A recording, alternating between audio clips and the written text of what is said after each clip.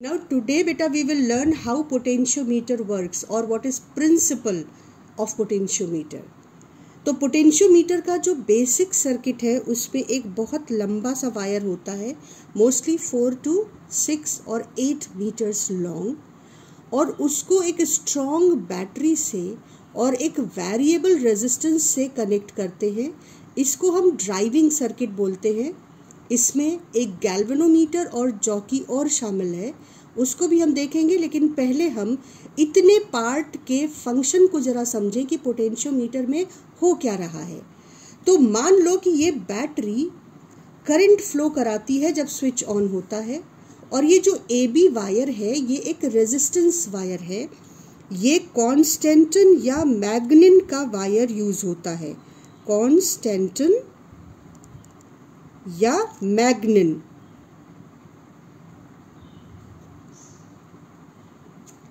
क्यों? क्योंकि इस अलॉय का कैरेक्टरिस्टिक है कि जब टेम्परेचर बढ़ता है तो इसका रेजिस्टेंस बहुत अप्रिशिएबली चेंज नहीं करता। तो ओम स्लॉ कंटिन्यूसली हम अप्लाई कर सकते हैं। क्योंकि ओम स्लॉ कहता है कि टेम्परेचर के साथ रेजिस्टेंस अगर बदलेगा तो ओम स्लॉ अप्लाई नहीं हो सकता। तो अब यहाँ पे करंट फ्लो करती है और अगर इसका रेजिस्टेंस आर ओम है तो ऑब्वियसली इसके अक्रॉस एक पोटेंशियल ड्रॉप होगा आई इन टू आर मान लो कि वो potential drop V naught volt है और इस वायर की लेंथ एल मीटर्स है. तो अगर आप वी नॉट को एल लेंथ से डिवाइड कर दो तो हमको एक बहुत इंपॉर्टेंट क्वांटिटी पता चलती है that is rate with which potential decreases along the length of the potentiometer wire and this quantity is known as potential gradient तो सबसे पहला जो प्रिंसिपल समझने से पहले पोटेंशियोमीटर का, सबसे पहला जो इंट्रोडक्शन हमारा होना चाहिए, वो पोटेंशियल ग्रेडियंट से होना चाहिए। व्हाट इज़ पोटेंशियल ग्रेडियंट और ये एक इंपॉर्टेंट क्वेश्चन है बोर्ड के सिलेबस में। Potential gradient is defined as rate with which potential decreases along the length of the potentiometer wire and it is calculated by dividing potential difference across the AB wire potentiometer wire with the length of the potentiometer wire और इसकी unit है volt पर metre अब इसको थोड़ा feel करने या समझने के लिए हम लैब में जो जो सर्किट यूज़ करते हैं, बेसिक बोर्ड के प्रैक्टिकल में उसको उठाते हैं।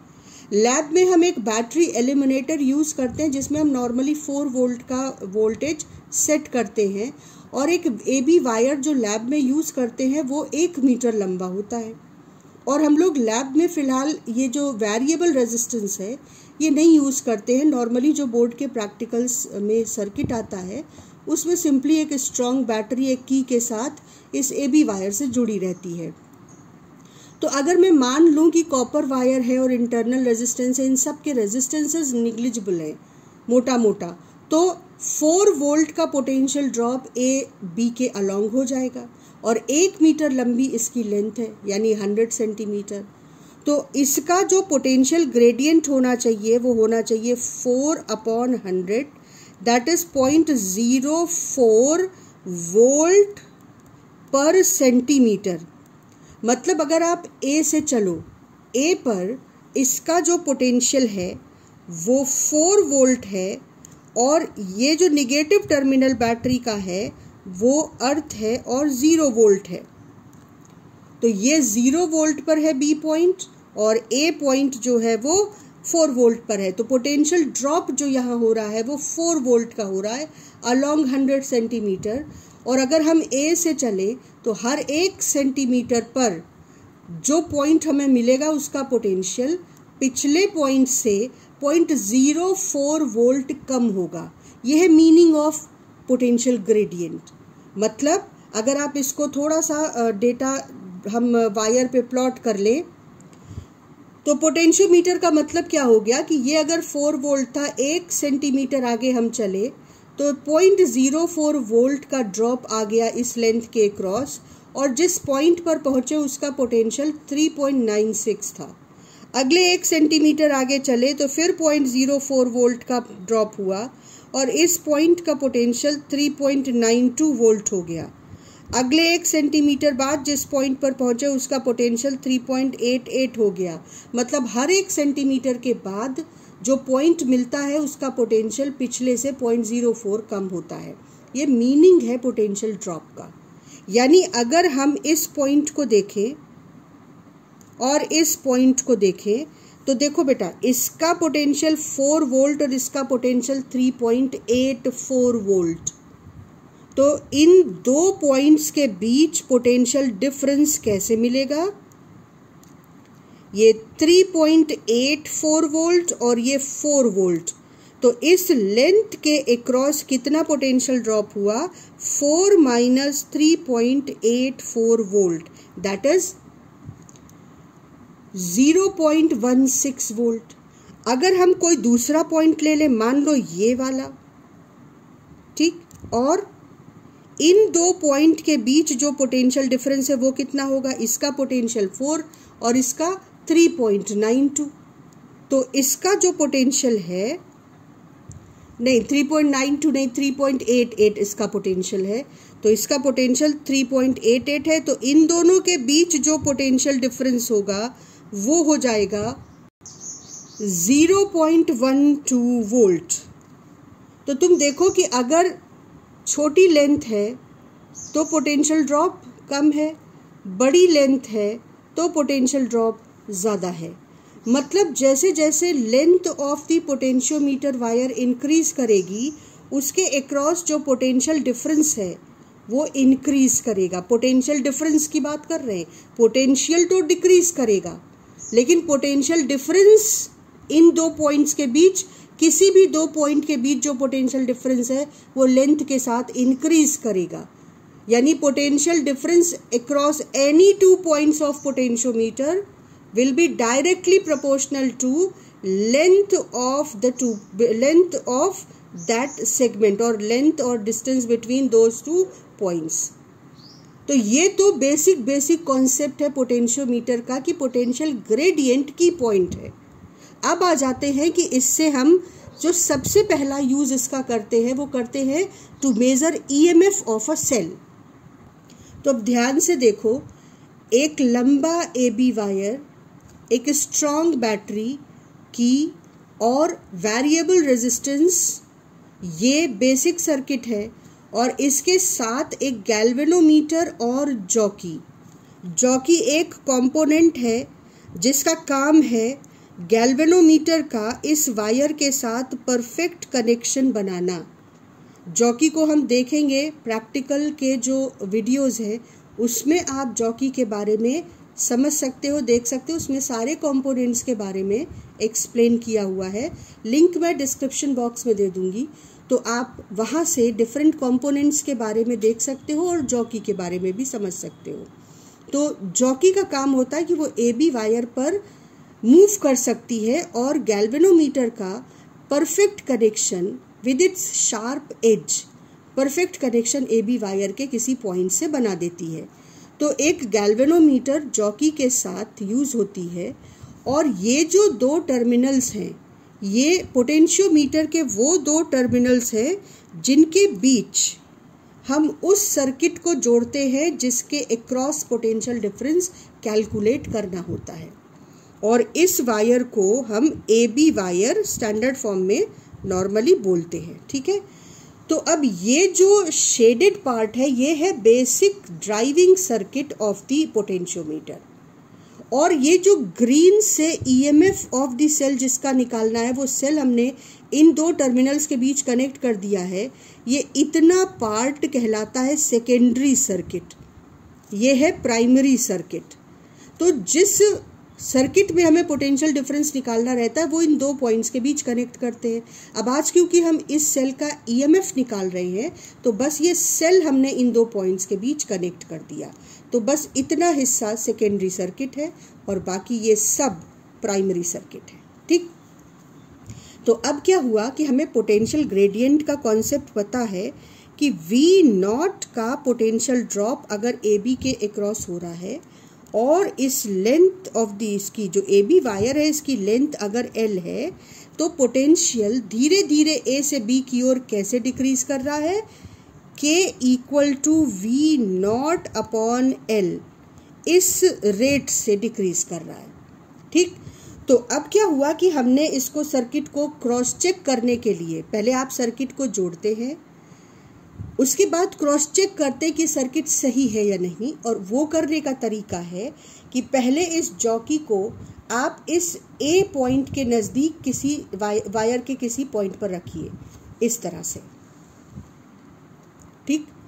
अब इस पॉइंट पर जॉकी को जब रखेंगे तो गैल्वेनोमीटर में आपको एक पर्टिकुलर डायरेक्शन में डिफ्लेक्शन दिखाई पड़ेगा। तो मान लीजिए कि लेफ़्ट साइड में दिखाई पड़ा। अब एक्चुअली हो क्या रहा है? देखो, अगर आप अपना वो जो लैब वाला सर्किट है, वो देखो तो क्योंकि उससे फील ज़्यादा आती है, समझ ज़्यादा आता है। और लैब में हमें उसे प्रैक्टिकल करना भी है। तो ये फोर वोल्ट का बैटरी लगाते हैं। ये एंड फोर वोल्ट पे होता है और ये एंड ज़ीरो वोल्ट पे होता है। तो यहाँ से यहाँ तक, मान लो ये एक सेंटीमीटर हो तो हमने देखा था कि इस केस में जो पोटेंशियल ग्रेडियंट था वो पॉइंट ज़ीरो फोर था ना। कैसे फोर अपॉन हंड्रेड सेंटीमीटर किया था? तो एक सेंटीमीटर के फोर वोल्ट इस पॉइंट से एक सेंटीमीटर दूर हमने सी वन पॉइंट पे रखा। तो यहाँ का जो पोटेंशियल है, वो क्या होगा? Three point nine six volt. और ये जो बैटरी है, ये मान लो कि ड्राई सेल है जो हम लोग उसमें ट्रांजिस्टर में यूज़ करते हैं तो इस बैटरी का ईएमएफ होता है वन पॉइंट फाइव वोल्ट। तो अब तुम सोचो कि अगर इस पॉइंट का पोटेंशियल कुछ हो तो इस पॉइंट का पोटेंशियल उससे 1.5 वोल्ट कम होकर यहाँ पर होगा। यानी इन दो पॉइंट्स के बैटरी के दो टर्मिनल्स के बीच जो पोटेंशियल डिफरेंस है वो तो 1.5 वोल्ट होगा ना, क्योंकि यही बैटरी के दो टर्मिनल्स के बीच का पोटेंशियल डिफरेंस है। तो ऑब्वियसली यही वोल्टेज इनके दोनों टर्मिनल के बीच होगा। तो जब आप जॉकी को यहाँ रखते हो तो जो वोल्टेज इस पॉइंट का सी वन पॉइंट का है, और ये पॉइंट हमने किस नाम से रखे थे? A B C one point का पोटेंशियल बी के पोटेंशियल से ज़्यादा होता है। यानी आप यहाँ पे लिखेंगे कि when potential of C one is more than potential of B तो जो करंट गैल्वेनोमीटर से फ्लो करेगी, वो सी वन से बी की तरफ़ फ्लो करेगी, इस तरीके से।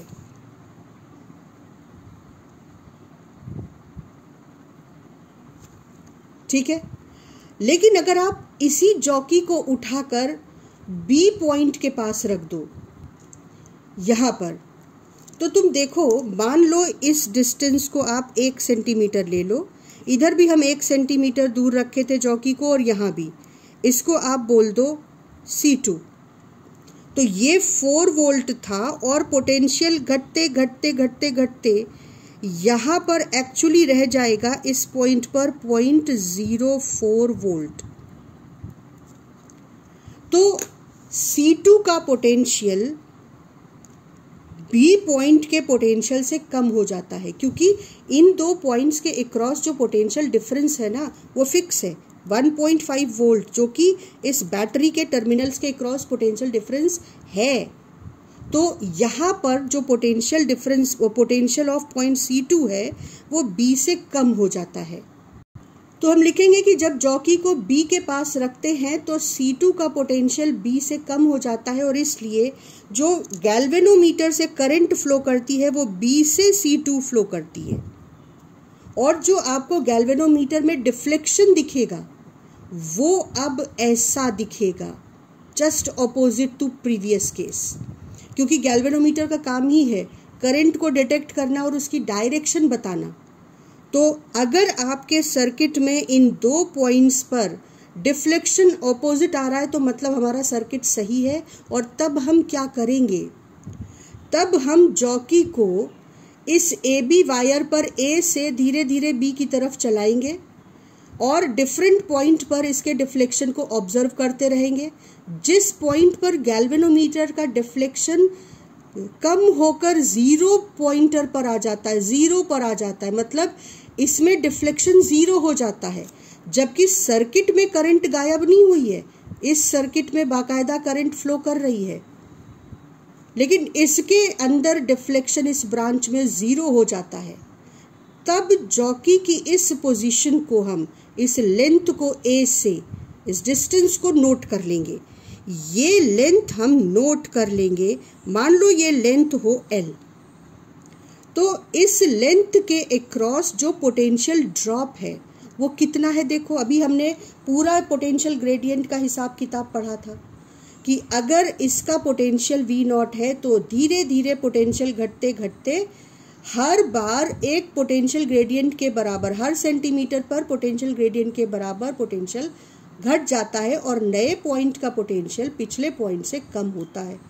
तो क्या मैं ऐसे कहूँ कि अगर एल लेंथ पर पोटेंशियल डिफरेंस वी नॉट है, यहाँ और यहाँ के पॉइंट के बीच potential difference V naught minus zero है, यानी अगर लेंथ कैपिटल एल है तो पोटेंशियल डिफरेंस वी नॉट है।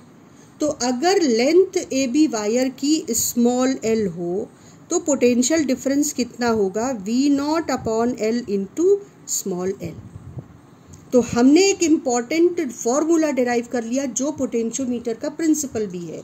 वो फॉर्मूला है कि potential difference between any two points of potentiometer wire is equal to V naught upon L, which is potential gradient, into length of that segment. यानी उन दो points के बीच का separation और इस पॉइंट को हम मान लेते हैं पॉइंट सी तो जब गैल्वेनोमीटर में डिफ्लेक्शन ज़ीरो है तो इसका मतलब क्या है? ज़ीरो डिफ्लेक्शन का मतलब है या इसको हम बोलते हैं नल डिफ्लेक्शन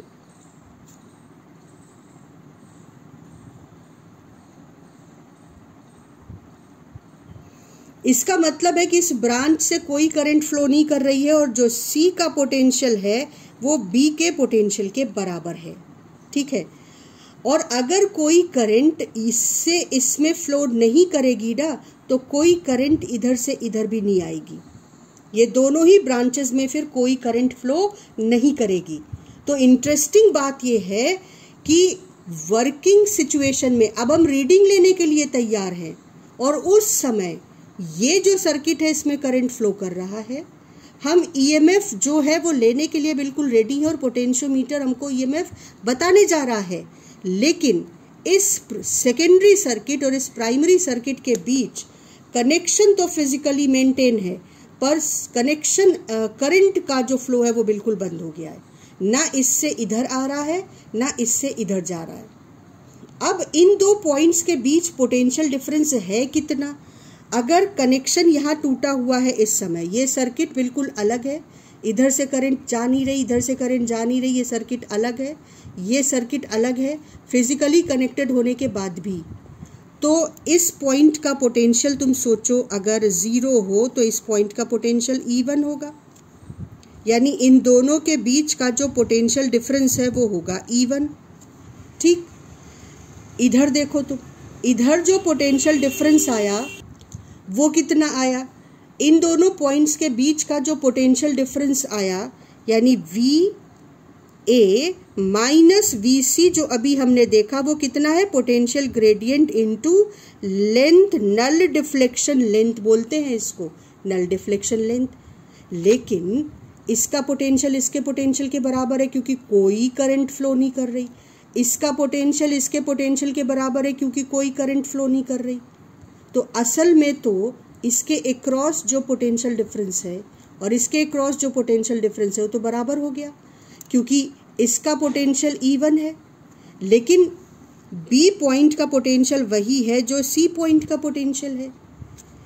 ए पॉइंट का पोटेंशियल वही है जो स्मॉल ए पॉइंट का है। तभी इनके बीच कोई करंट फ्लो नहीं कर रही है। तो इस वाले सर्किट से पता चलता है कि इनके बीच पोटेंशियल डिफरेंस होना चाहिए इवन और इस वाले सर्किट से पता चलता है कि इनके बीच पोटेंशियल डिफरेंस होना चाहिए। के टाइम्स सेल तो इसका मतलब ये दोनों वैल्यूज़ इक्वल होनी चाहिए सेम होनी चाहिए। तो जो V A minus V C है, वो असल में V A minus V B भी है। और ये इक्वल टू के एल है।